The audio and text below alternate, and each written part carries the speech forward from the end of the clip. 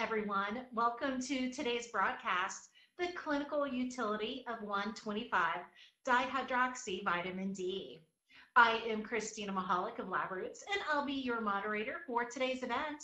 We are delighted to bring you this educational web seminar presented by LabRoots and sponsored by DiaSorin. DiaSorin Incorporated offers the broadest, fully automated infectious disease and specialty diagnostics menu, including best-in-class vitamin D. These quality assays are analyzed on the versatile Liaison XL platform. With their excellent instruments and assays, DiaSorin provides value through sales, service, and support solutions to clinical laboratories by consolidating their menu in order to streamline processes and increase efficiency. For more information, please visit diasorin.com. We have a few important announcements before we begin. This webcast is designed to be interactive and we encourage you to ask questions during the event. You can submit questions by typing them in the Q&A box, which can be found by clicking on the green Q&A button at the lower left of the presentation window. We'll answer as many questions as time permits. You can enlarge the slide window by clicking on the screen icon in the lower right-hand corner of the window. If you have any technical problems viewing or hearing this presentation, please click on the support button located at the top right of your presentation window or submit your problem through the green Q&A button located at the lower left of the window. This is an educational webinar and offers free continuing education credits for viewing. After the webinar is over, please click on the CE button located in the bottom left-hand corner of your webpage and follow the process for obtaining your credits. It is now my pleasure to introduce today's speaker, Dr. Gregory Plotnikoff. Dr. Gregory Plotnikoff is a board-certified internist and pediatrician who has received national and international honors for his work in cross-cultural and integrative medicine. Before opening Minnesota Personalized Medicine, Dr. Plotnikoff served as an integrative medicine physician at the Penny George Institute for Health and Healing and as a senior consultant at the Center for Healthcare Innovation, Allina Healthcare in Minneapolis, Minnesota. Dr. Plotnikoff is a graduate of Carleton College Harvard Divinity School, and the University of Minnesota Medical School. Dr. Plotnikoff is a frequent invited speaker and has been quoted in numerous national magazines, including the New York Times, Chicago Tribune, and Los Angeles Times. He has been heard on multiple radio programs, including All Things Considered, Speaking of Faith, and The Science Friday. His 2003 article on vitamin D and chronic pain is one of the most highly cited, art, cited articles in the history of the Mayo Clinic proceedings. I will now turn the presentation over to Dr. Plotnikoff for his presentation. Great. Well, thank you, Christina, and thank you, everyone, for joining us today. This is actually a very important topic and uh, article of, of testing that isn't um, well understood often.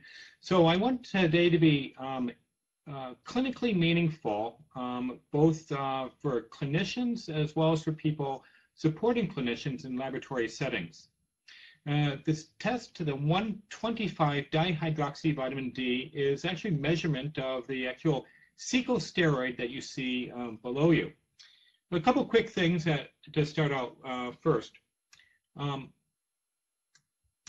uh, so we'll advance the slides here. First, I work at Minnesota, Personalized Medicine. I'm an active clinician with a uh, long uh, waiting list of persons uh, for persons who have been through a lot of medical evaluation and still don't have a diagnosis or have a diagnosis but um, no treatment plan um, that's affecting positive change. It's a very unique practice, uh, tertiary, quaternary, I mean, fifth opinion type of uh, clinic. And I need to let you know I'm not going to discuss any off-label use or any investigational um, applications. And I do have one financial relationship to disclose. As DiaSorin is uh, providing an honorarium for me to present this presentation for you today. So with that started, we're going to talk about vitamin D. And when we think about vitamin D, we think about sun exposure. We think about um, all the, uh, every photon touching our skin, um, breaking open the steroid and, and starting the vitamin D initiation process. But there's been a lot of concern about uh, vitamin D, and there's um, a lot of debate as whether we should test for it, uh, whether we should supplement for it, whether it should even be outside in the sun every day. To quote the chairman of one world famous clinic, he said, every photon touching our skin is a potential carcinogen. Well, that might be overcalling it a bit, but I wanted to kind of start out by just kind of beautiful images around a topic that actually is deeply meaningful behind the scenes.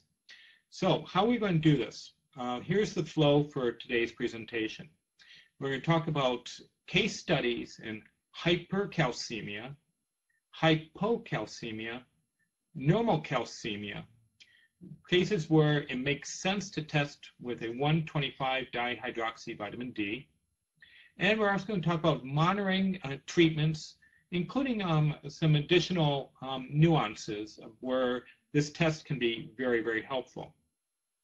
We've got nine case studies to go through. Seven of them are for hypercalcemia. So let's start out with the very beginning. First, as you may recall, is that vitamin D is actually produced in our skin from the sun.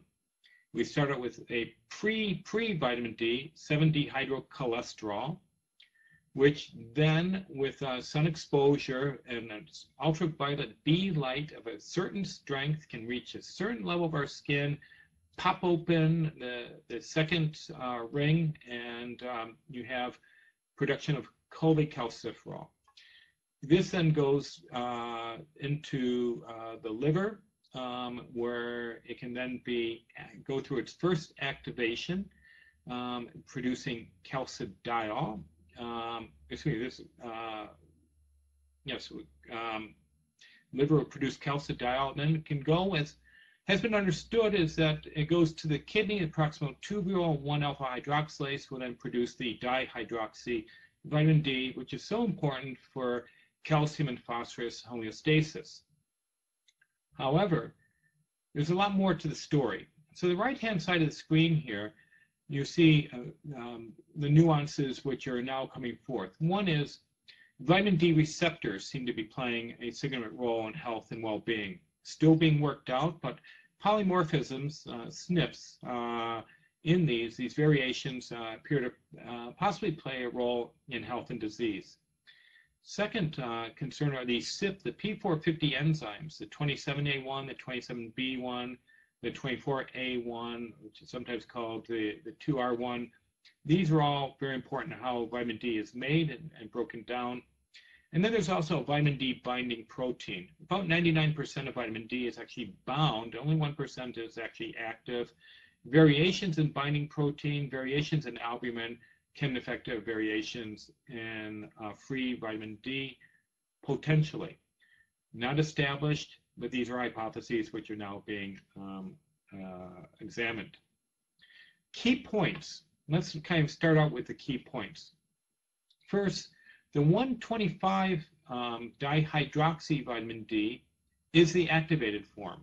This is what binds to the vitamin D receptor, which is part of the superfamily of nuclear receptors and this is what makes vitamin D a hormone rather than a vitamin. Recall that vitamins and minerals are cofactors in enzymatic reactions. Vitamin D is actually a hormone. It actually uh, binds to receptor and affects gene expression. In fact, the gene expression of perhaps 2,000 key genes in our body, and certain genes are keenly important for mood, memory, energy, sleep, generalized oomph power. But uh, in particular, um, we know that there are vitamin D receptors throughout the brain, both cognitive and emotional parts. Every immune cell, every bone marrow cell, every skeletal muscle cell, these are all uh, covered with vitamin D receptors. Vitamin D is clearly playing a role uh, there in affecting genomic expression. So why not measure 125 dihydroxy vitamin D on everyone? Well, the point is it's not the best measure for vitamin D. The measure for vitamin D status is the 25 hydroxy vitamin D.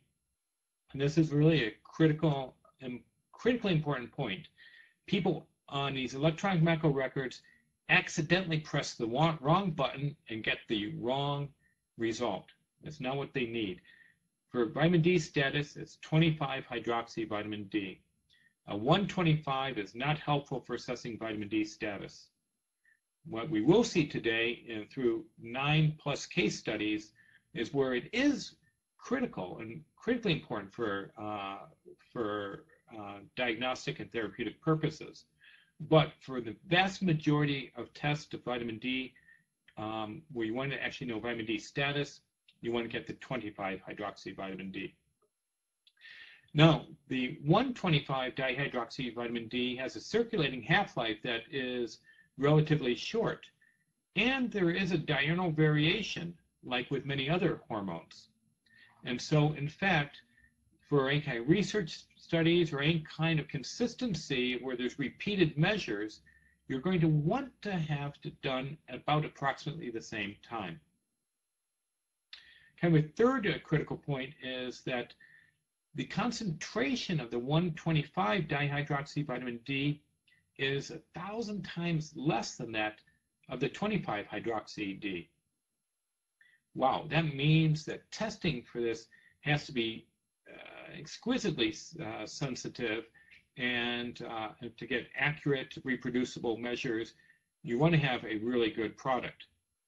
And notice that the reference range is between about 15 and 75 picograms per ml, as opposed to the 25 hydroxy D, which generally runs in nanograms per ml. Now, reviewing again where we're going uh, with this is kind of the 7 dehydro dehydrocholesterol in the presence of ultraviolet B goes to pre-vitamin D, which then goes to cholecalciferol, vitamin D3, or ergocalciferol, vitamin D2. Now, this is really important because a lot of people ask, oh, I'm taking vitamin D, and most vitamin D in the stores is vitamin D3, cholecalciferol, which is ultraviolet B activated lanolin uh, from uh, sheep, um, from the sheep wool. Ergocalciferol, which is vitamin D2, is ultraviolet B activated and transformed ergocalciferol found in fungal uh, cell walls. And uh, this is, comes from mushrooms. So yes, sun-activated mushrooms will be a good source of vitamin D2, uh, which can be active, but with a much shorter half-life than vitamin D3. Now notice that vitamin D3, which is by oral means or by sun exposure means, has to go through a CYP2R1 to become calcidiol. That is what takes place in the liver. Calcidiol then would be a replenishment in liver failure, perhaps. Um, and then CYP27B1 will again create the activated form of vitamin D, the 125, also known as calcitriol. And note that there are a number of prescription drugs listed here. Ergocalciferol, calcidiol, calcitriol. These are all available on, on prescriptions. All right, so in this, we will come back to this picture uh, again and again, but I just want to show you that the 125, which is at near the bottom middle of the circle, um, is a negative regulator of parathyroid hormone and a positive regulator of FGF23, the fibrinogen growth factor. These in turn have either positive or ne negative regulation effects in 27B1, uh, and so therefore there is a lot of exquisite homeostatic uh, uh, monitoring and balancing of the system including the kind of the breakdown of uh, vitamin D. We'll come back to that because this, this will turn out to be important. Um, but just know that it's kind of homeostatic control of 125 dihydroxy vitamin D uh, means that uh, that you should have a consistency at the same time of the day, day by day, uh, for measurement and activity. Okay. So what are some other clinical pearls that we need to know? Uh, one is that Uh, in severe vitamin D deficiency, 25 hydroxy vitamin D, the 125 can go really low because there's just not enough stuff around for it to work on. Second thing is that the 125 can also be low or can be normal with severe, severely high levels of the 25 hydroxy vitamin D. And third is that you would expect the 125 levels to go low as you have more uh, severe degrees of renal impairment. That is, the glomerular filtration rate drops, um, so will the 125 dihydroxyvitamin D, and that's why it can be so important to measure on people who are on renal dialysis or approaching dialysis.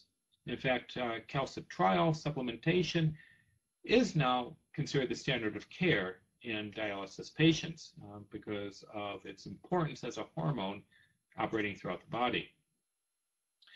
Now, another thing is um, there have been a lot of people who've been measuring 125 dihydroxy vitamin D for a lot of different reasons outside of kind of established, uh, understood uh, frameworks of hypercalcemia and the like. And so it's important to recognize that actually you can get high levels potentially of 125 with low levels of the 25. And the reasoning is this. Low 25 means low ionized calcium. Low ionized calcium means increased parathyroid hormone to maintain calcium levels.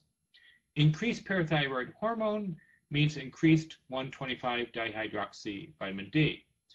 And so this is something that is a nuance and can actually help uh, in interpretation of data by putting it into a context. So there could be reasons for getting both the 25 and the 125 at the same time.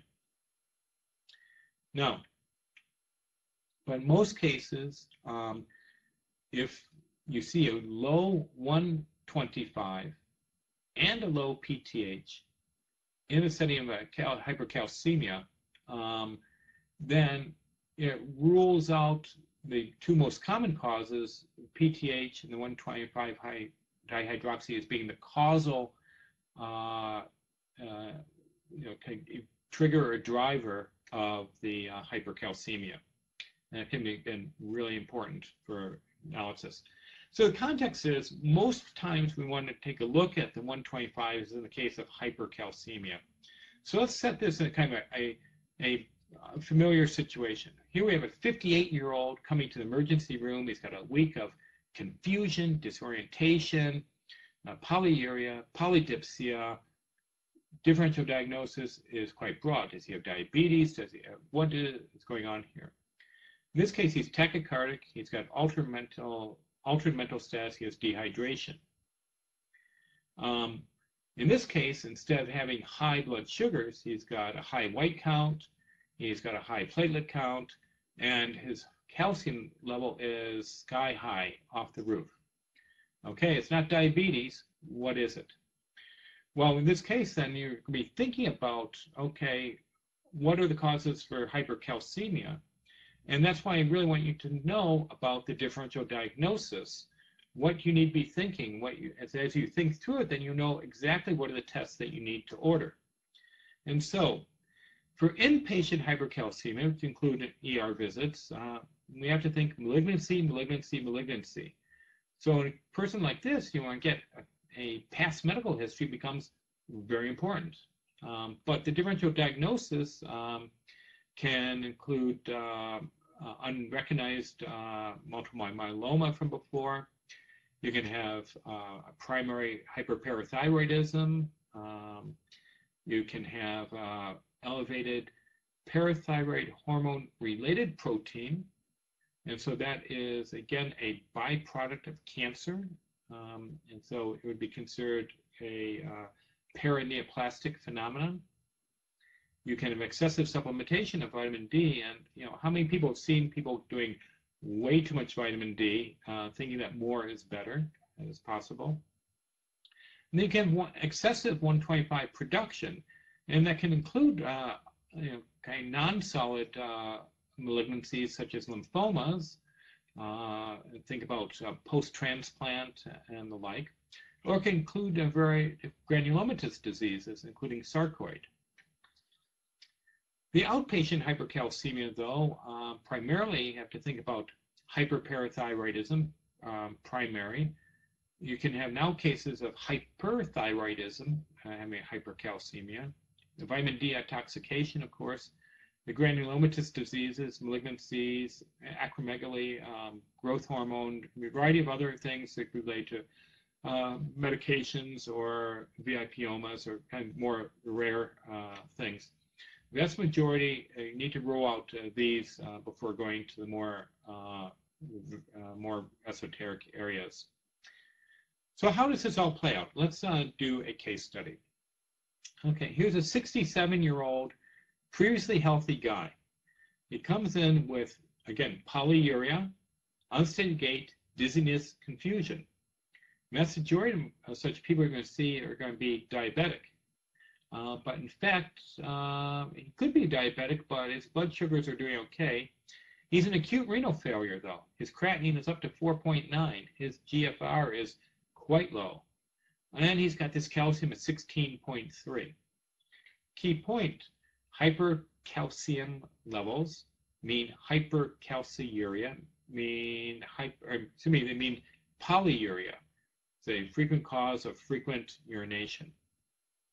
His parathyroid hormone is just mm, slightly high. Um, so he, give, he, gets IV fluids, calcitonin, pamidronate.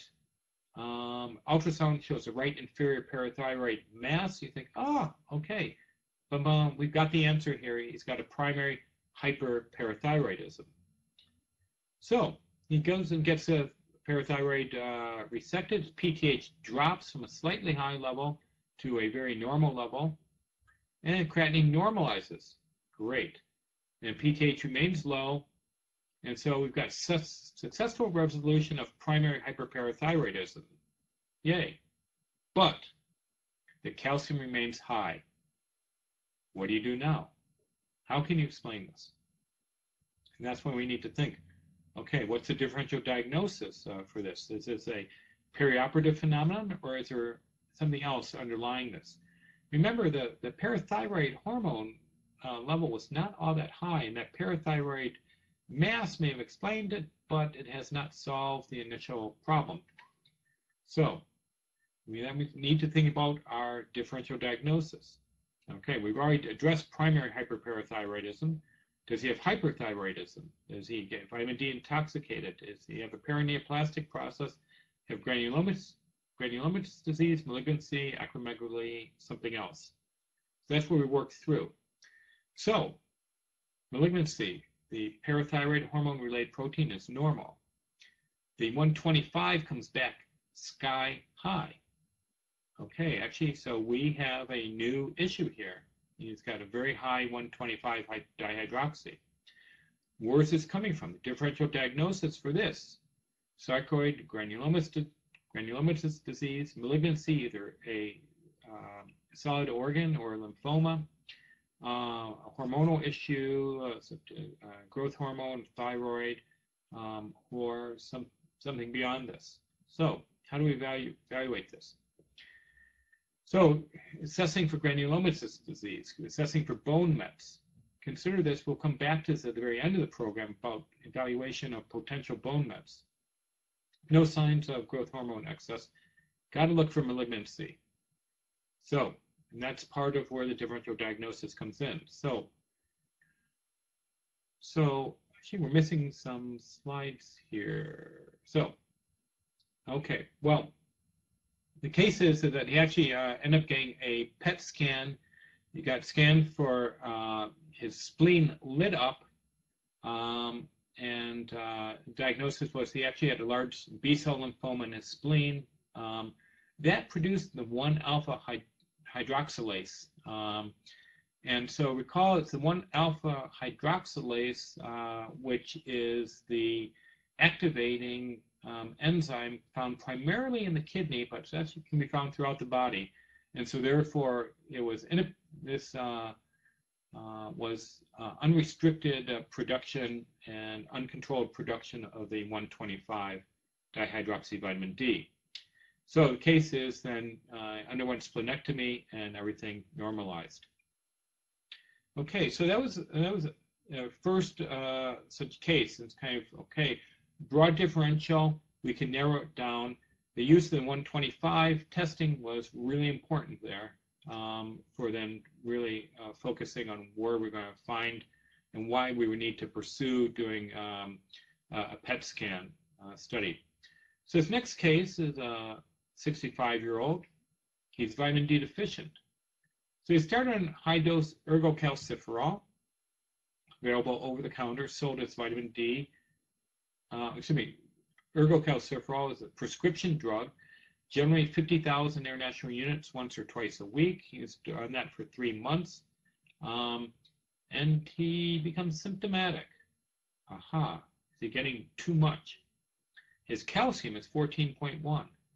Yes, he's going to be symptomatic with that, including polyuria and mental status changes and like. How are we going to work this up? Well, we know the first seven cases I'm going to present are about hypercalcemia, so here it is, uh, a hypercalcemic case. How are we going to work this up? Again, the differential diagnosis, hyperparathyroidism, vitamin D intoxication, granulomatous disease, malignancies, uh, acromegaly being the tops of the list. So, and this is the ordering that we would do. Uh, we would add maybe a TSH in here as well, depending on what else you would uh, be finding. Notice that the 125 is, at, uh, is after a series of tests. Maybe you'd order these all at the same time, depending on clinical situation. So his PTH came back normal. His 20, vitamin D came back normal, so it's not an intoxication issue. His parathyroid hormone related protein came back normal. And his 125 is elevated. Okay, now we have to think about why is this going to be the case?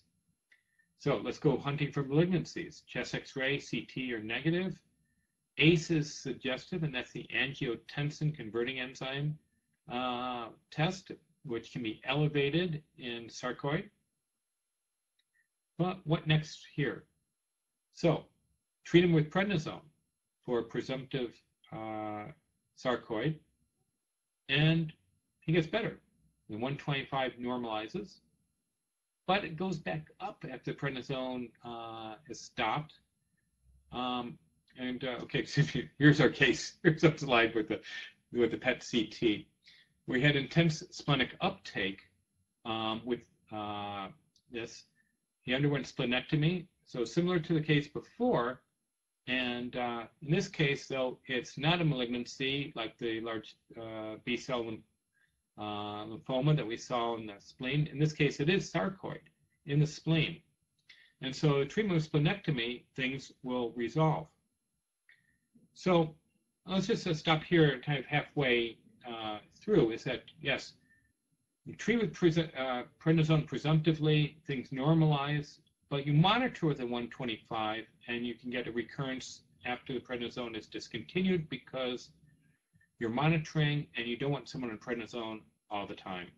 And we know there's too many downsides to that. Um, so that's when you go hunting, you find the malignants or the um, sarcoid um, or the granulomatous disease, and that's what you address. So these are two kind of common cases. The third, this next case, chronic uh, kidney disease, end-stage renal disease, is again is another time we're going to see this a lot. Here's an 81-year-old gentleman.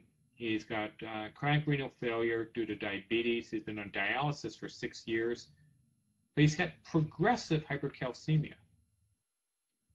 So with that, then you're going to discontinue the prescription calcitriol, thinking that he's getting too much. Um, and uh, but um, He's got fatigue, he's got anorexia, insomnia, his, his exam is normal, he's got normal routine labs. Um, what now? So we have to go back to, again, uh, primary, or in this case, uh, kind of tertiary hyperparathyroidism, vitamin D intoxication, increased 125 from granulomatous disease, malignancy, acromegaly. Yes, I want you to really know this differential diagnosis um, by the end of the presentation. So let's go through it. Parathyroid hormone is normal. Vitamin D is normal. His related protein is normal. Um, the 125 is mm, high end of normal, uh, but normal. Chest X-ray is normal. His angiotensin converting enzyme uh, level is borderline. Um, what now? What's what's going to explain this progressive hypercalcemia, and what's the most cost-effective route to evaluating it? Well, based on laboratory results for the calcium and the 125 dihydroxyvitamin D test, we've got to consider sarcoid, granulomatous, granulomatous disease like TB or histo, uh, lymphoma, other malignancies, growth hormone excess. Um, and this is why accurate measurement is so important. Notice the level 55 was in kind of the normal range, but what is the range of variation among this? Uh, so you don't want something that's going to be wildly inaccurate. Uh, this is some, this is a time where you really are going to want to have um, rigor in capacity to get an accurate uh, measurement here. So uh, because you know we can spend you know uh, five thousand dollars on a PET scan. We can do all kinds of. Uh, we can do a variety of things which are invasive, uh, expensive. Uh, we might not get the answer.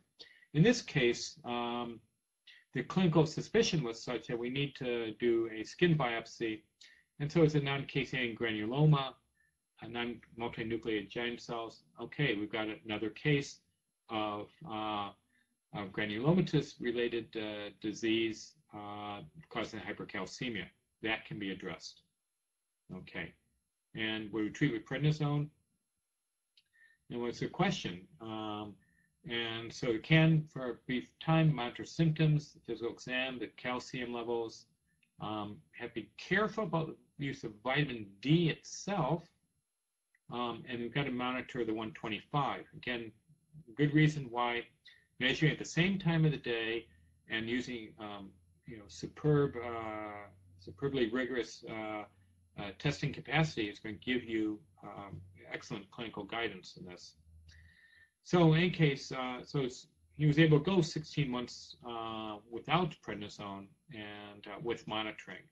And so it's kind of a case of serial monitoring can be so helpful. All right, how about, uh, does that ever affect women? Of course, yes. Here's a 50-year-old with hypercalcemia. Um, she got normal 25, normal PTH. Actually, it's fairly kind of unremarkably, uh, but kind of low normal PTH. Uh, proteins undetectable, but the 125 is really quite high. And so, uh, so let's uh, think about how we want to think about this. So that's where we want to think about expanding the differential diagnosis. And so that's where we go into measuring other hormonal levels, like the IGF-1, like growth hormone. And so, in fact, behind her story is a pituitary tumor. And so, um, so this is a case of unrecognized acromegaly, and, um, and for which treatment uh, would be um, the transsphenoidal adenomectomy, and um, and then you can monitor um, afterwards. And in fact, in this case, her 125 did normalize, and she's doing well. Now, as you can imagine, sometimes there are incomplete resections. And again, that would be an indication for following the 125 in a serial manner over time or following calcium uh, over time. All right. Case five is another woman, uh, woman with uh, uh high uh, calcium her PTH is also low. Her vitamin D is also normal range. Her related protein is normal. And then 125 is high normal, but not outrageously. Um, but she's got some visual field cuts. Hmm. How are you going to approach this? Well, again, thinking about, uh, well, from the last case, IGF, the growth hormone, um, uh, are an important level important follow-up test uh, um, again, unrecognized acromegaly. And in this case, the MRI did show another pituitary um, neoplasm. Um, so again, you can uh, treat that with transsphenoidal adenomectomy. So the calcium um, uh, postoperatively um, is to remain a little bit high. The IGF 1 is really high. The growth hormone is down, but still high. The 125 is still high. Okay, so this is very important clinical data then. And uh, you recognize that mm, it was definitely an incomplete resection. This is therefore, uh, and this is kind of consultation with neurosurgical colleagues about next uh, next steps and uh, for monitoring. All right, case six, kidney stones. We all see folks with kidney stones, and, uh, and one of the most common things, one of those severe causes of pain. Um, so how might this evaluation be helpful? Here's kind of a, a nice example. Here's a 24-year-old. He's had kidney stones for the past six years. He's got significant hypercalciuria. He's got hypercalcemia, but he's got a low PTH, as would be expected. He's got a normal vitamin D, and he's got a high 125. How are you going to make sense of this? Let's go through a differential diagnosis for the hypercalcemia. You know, it's kind of, okay, we're going to rule out PTH, rule out TSH, uh, rule out uh, things. So is this a case of malignancy? Is this a uh, over the past six years? Is it or is something else going on? Is this case of uh, pituitary issues, or is there something else going on? So um, we talked about granulomatous disease. We talked about sarcoid. And, um, and we mentioned TB and histo. We covered a couple cases of malignancies. Covered a couple cases of acromegaly. What else might explain this increase 125? And that is actually, this is a case of reduced functioning of the CYP24A1. And this can be due to heterozygous or homozygous single nucleotide polymorphisms or other variations um, in the gene for CYP24A1.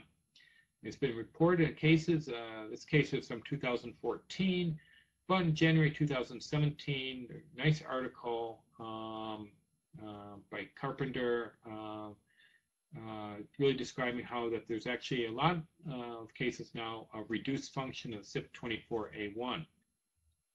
Why is it so important? Well, you see here that we talked about um, the 125 being required to be activated by uh, through the 27B1 from the 25.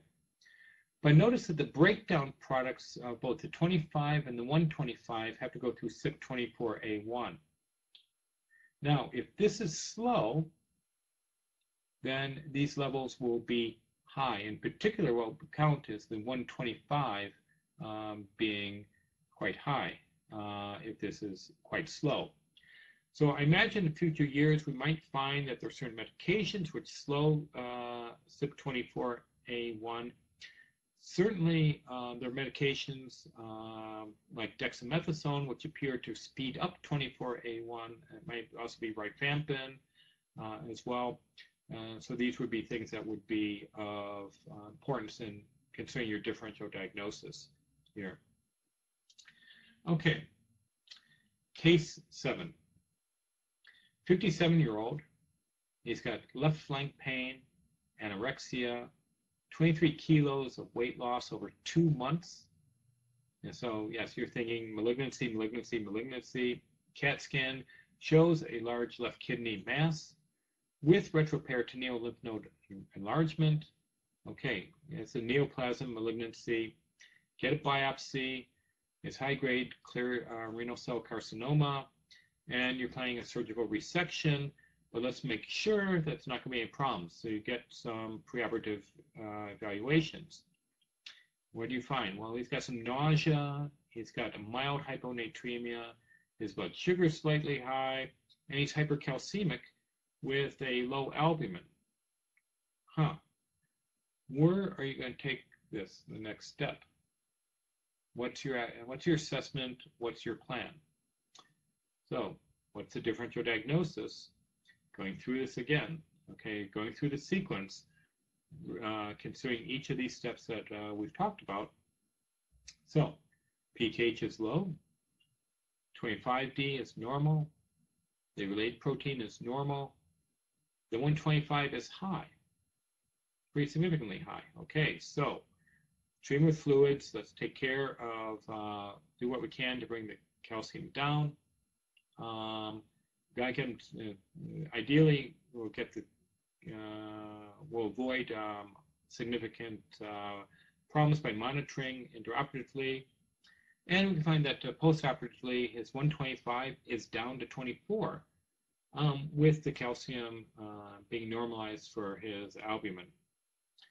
So with pathology, what's interesting here is the pathology showed a high-grade carcinoma, um, and um, and so we can presume that resection of this made a difference.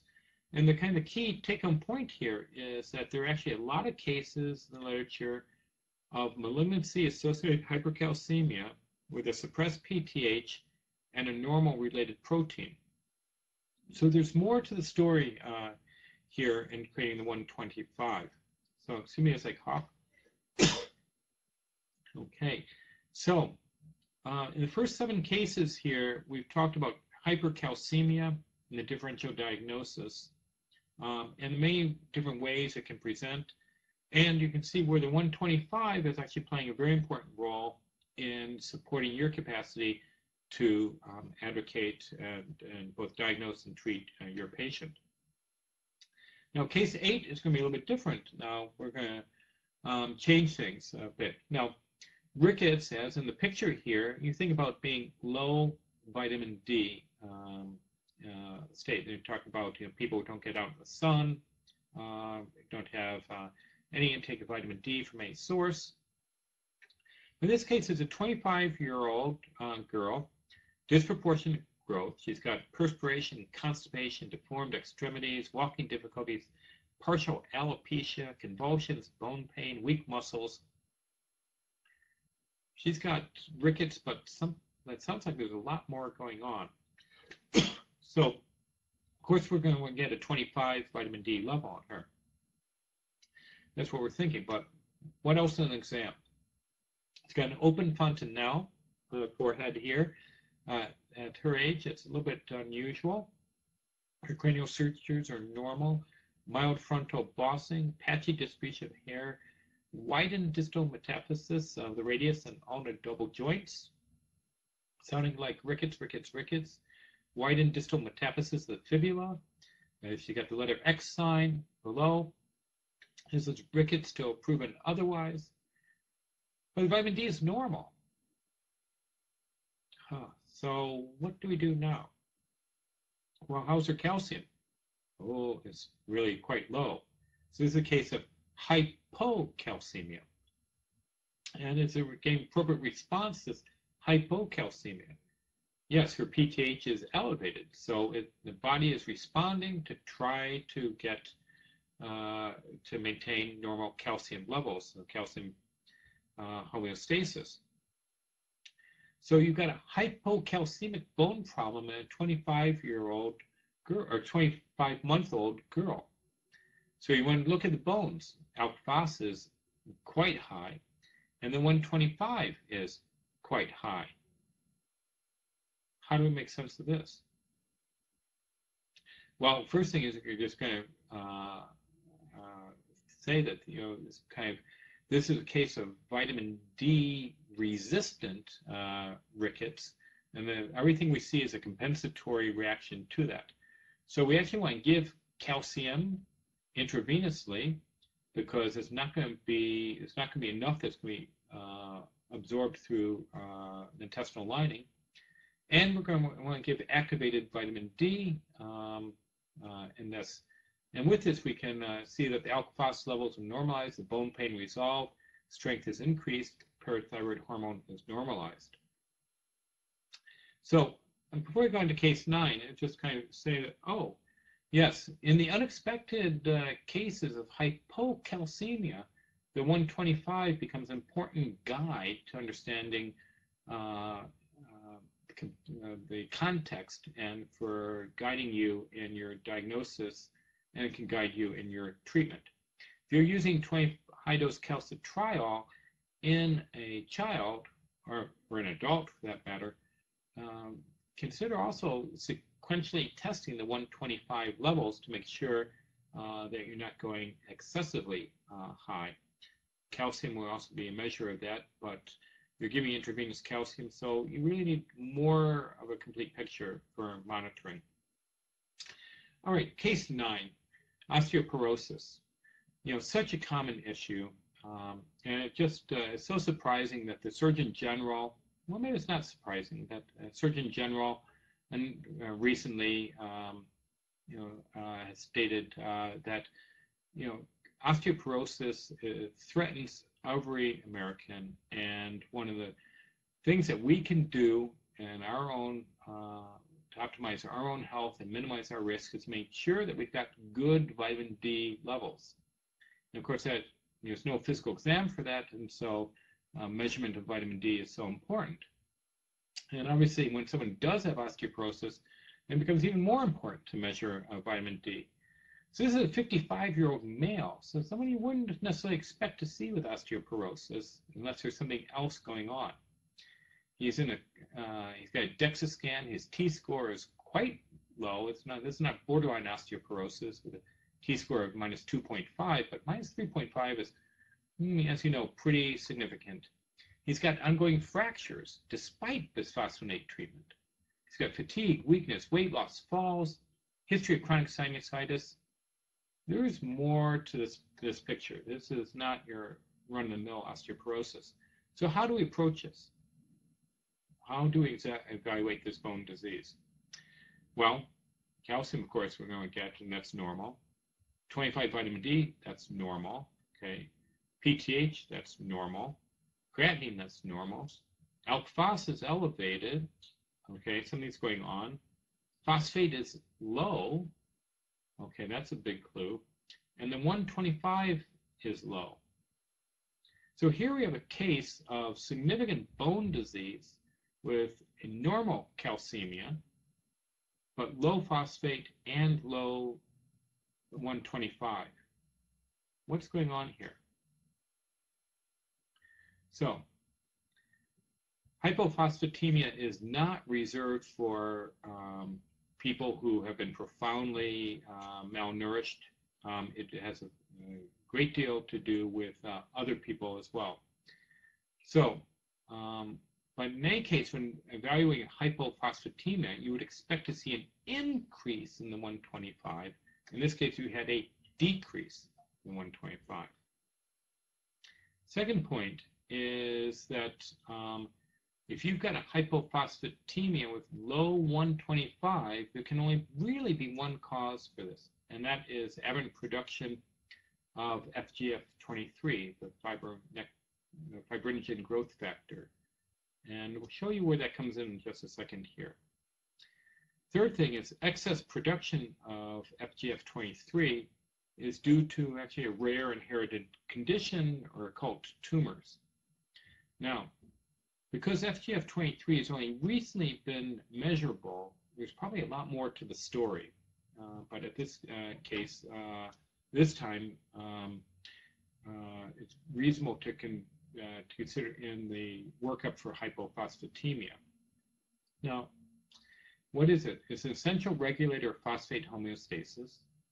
Uh, it has its own receptor and a co-receptor, and it inhibits reabsorption of phosphate from the urine. So therefore, you're spilling phosphate in the urine, hyperphosphaturia, and a relative hypophosphatemia, and because of the feedback loops, it's going to decrease production of the 125, and therefore you're not going to have activated vitamin D. And so, um, so hypophosphatemia would be part of this whole picture. Now, again, here is the story. Notice that FGF23 is in the lower right-hand corner. The 125 levels should upregulate it, and it in turn should downregulate uh, production of the 125. But in fact, if it is independently, um, uh, are independently excessive production or high levels of this, it will automatically uh, downregulate the production of 125, and notice this at the top of the screen, upregulate the breakdown of vitamin D. And so, in fact, you, this is someone who would have low vitamin D levels uh, despite um, over-the-counter or even prescription dosing of, uh, of uh, cholecalciferol or ergocalciferol. So in this case, so he gets started on phosphate and calcitriol and you go scanning for tumors and lo and behold, this chronic sinusitis issue is actually, he's got um, a malignancy uh, causing this problem. So undergoes resection, phosphate and the 125 normalize, pain resolves, ambulation normalizes, his DEXA scan goes from a minus 3.5 to a minus 1.7, so his osteoporosis resolves. It's completely reversed. Um, and uh, here's a citation uh, for the case. So, um, what do I want you to know? Um, I want you to know that 125 is the activated form of vitamin D. 25 is the, the 25 vitamin D is the best measure for whole body status, but 125 is the best measure for the activation. You've got to measure 125 in hypercalcemia evaluations, and you need to consider an evaluation of hypocalcemia evaluations. As we just showed, hypophosphatemia would be reasonable as well. Now, differential diagnosis, I'm kind of kind of repeat, repeat, repeat, but this is, you know, we need to consider metastatic cancer, osteolytic lesions, multiple myeloma, uh, parathyroidism, parathyroid-related uh, protein from malignancy, excessive vitamin D, excessive uh, production, again, malignancy, or uh, solid organ or lymphoma. Prolonged immobilization could also cause this as well an outpatient, we think about hyperparathyroidism, hyperthyroidism, um, vitamin D intoxication, paraneoplastic, granulomatous disease, malignancies, acromegaly, and very rare others. Now, how is this used and why is this important? One, one is diagnosis of the cause of hyper or hypocalcemia. Uh, two is monitoring of calcitriol therapy uh, and monitoring calcitriol status with administration of oral vitamin D as cholecalciferol or ergocalciferol um, in supplementation where vitamin D appears to play a role in regulation uh, and uh, of so many key things in the body, uh, sarcoid, um, other granulomatous disease. So for example, remember that uh, TB is, uh, is, was actually treated for many years by exposure to sunshine. In fact, vitamin D plays an incredibly important role in macrophage uh, activity and anti-vitamin D activity. But we also kind of uh, use this as measuring for maybe for people with kidney stone issues. Uh, uh, I think that's going to be more important in the future. Now, there's one additional clinical value. We started out in the, in the beginning, we talked about kind of the issue of there being osteolytic lesions with metastatic uh, cancer causing a hypercalcemia. And I to point out a very important nuance um, in evaluating uh, people with a history of cancer. And this comes from a very interesting case study um, presented uh, in, the, BMJ. And that is a woman with a history of breast cancer presented with uh, widely diffuse uh, musculoskeletal pain, um, weakness, fatigue, uh, a variety of, of symptoms.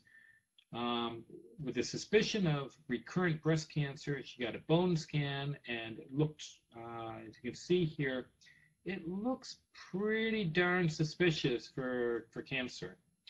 And, um, and so part of the whole, whole thing is, a, is that evaluation for her uh, will uh, this particular condition will vary around the world. As I understand it, in the U.S., we would do a biopsy of one of these lesions to document whether it's cancer. In this case, the patient was in the UK and biopsies aren't not are not routinely done. So in this case, then it would be really important then to, uh, and that was a key teaching point, is to get a measurement of a 25 hydroxy D and a measure of a 125 dihydroxy D, or maybe a parathyroid hormone related protein, really looking at um, widely metastatic cancer. In this case, this is really important to know, this patient simply had vitamin D deficiency and uh, and had and their dex this um, uh, this bone scan the lesions found here were strictly a matter of vitamin D deficiency and simply replacing vitamin D in the bone scan completely normalizes. So So I want to say um, thank you uh, for your attention. Thank you for your interest in vitamin D and in the assessment of hypercalcemia, hypocalcemia, and other situations where ordering the 125 can be actually really helpful in your clinical practice and your capacity to serve your patients. Um, with that being said, we've got a couple minutes for questions, um, and uh, we'll open that up uh, for questions right now.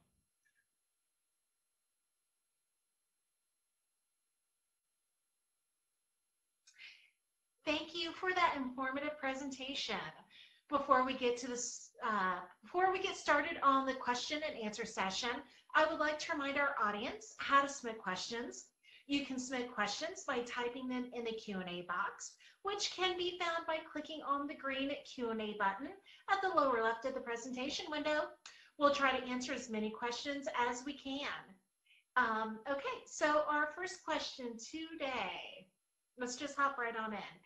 Um, Dr. Plotnikoff, can you explain when 25 hydro vitamin D and 125 dihydroxy vitamin D test should be ordered?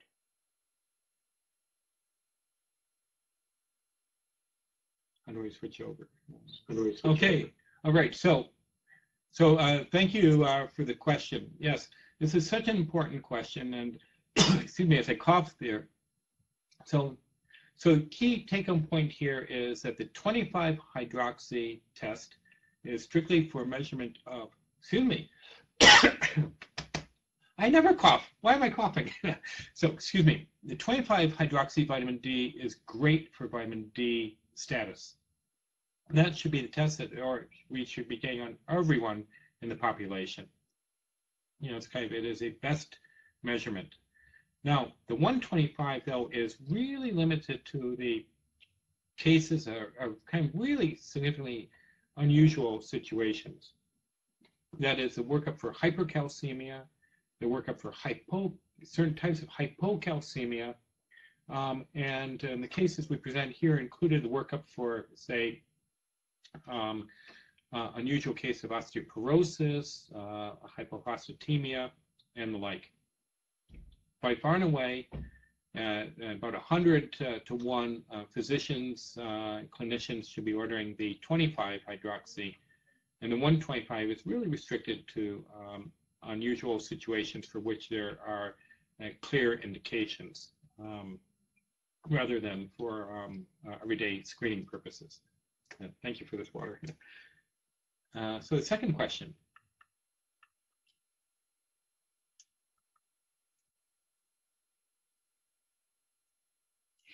Thank you for that.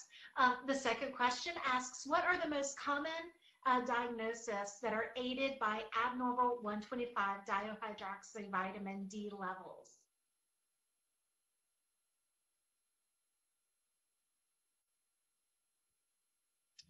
Great. Well, thank you for this question. Um, and that's why I really want to emphasize the differential diagnosis for, um, for hypercalcemia. Um, and that's where we went through with the hyperparathyroidism, uh, hyperthyroidism. Uh, we talked about different types of malignancies, uh, the parathyroid hormone-related protein. We talked of, about um, um, acromegaly. We talked about granulomatous disease, which includes sarcoid, histoplasmosis, um, uh, and the like. And um, Um, and uh, so the um, so I, I, want you to kind of since it's all going to be online, I'd really like to, uh, since you asked this question, I really would like you to kind of really go back and review uh, what uh, uh, the the slides. So if, if kind of the great value in a webinar like this is is supporting your capacity to create a good differential diagnosis um, and then be able to think through the case. But hypercalcemia, hypocalcemia, and then uh, relate unusual things such as the osteoporosis, the kidney stones, and the like. So uh, I see we're about at one hour right now. Um, is there another pressing question?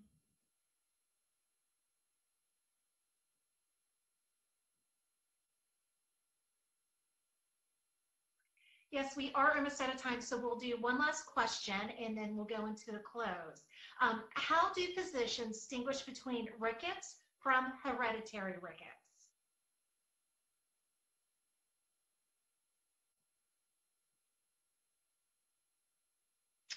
Well, great uh, question about rickets.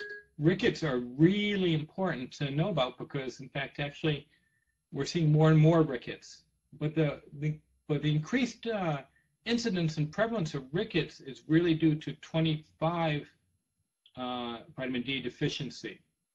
Now, what's interesting is you recall rickets may have been Tiny Tim in, uh, in uh, by uh, Dickens and uh, Scrooge.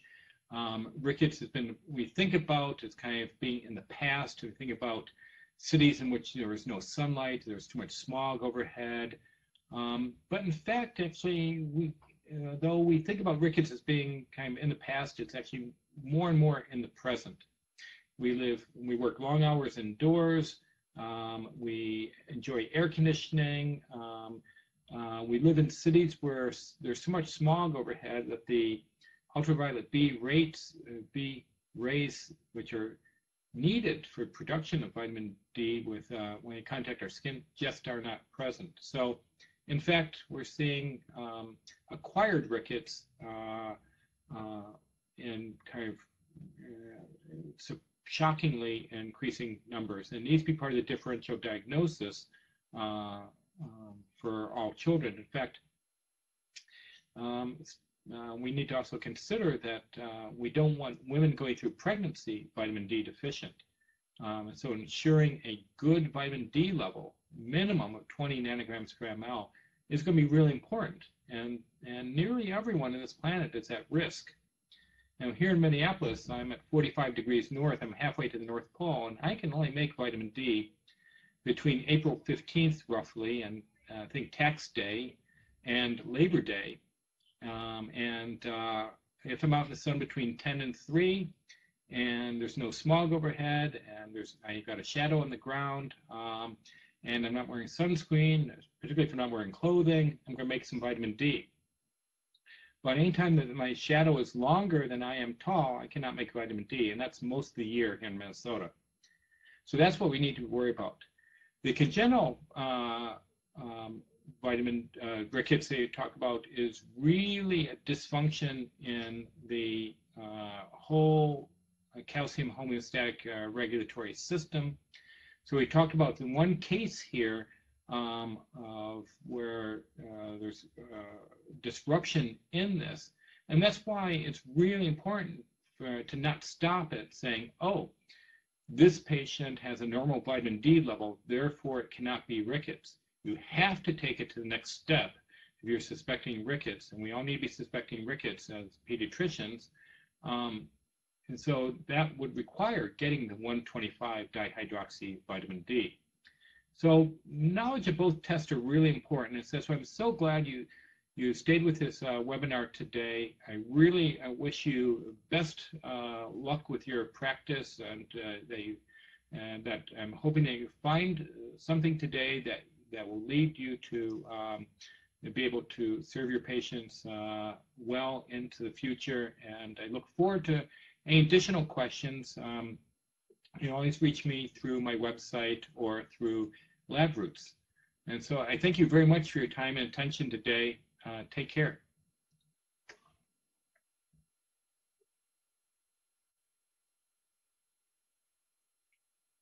I would like to once again thank Gregory Plotnikoff for his presentation. Um, in closing, do you have any final comments?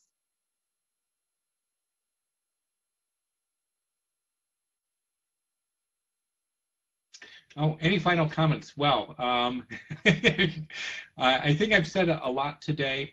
I'm really concerned. I want to make sure that if you have any questions or concerns, you can contact me through uh, through the website um, uh, through the website for my clinic or contact LabRoots. Uh, and I look forward to being helpful.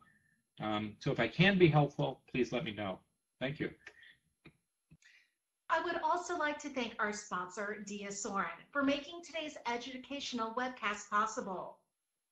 Today's webcast will be available for on-demand viewing through November 2017. You will receive an email from LabRoots alerting you when this webcast will be available for replay.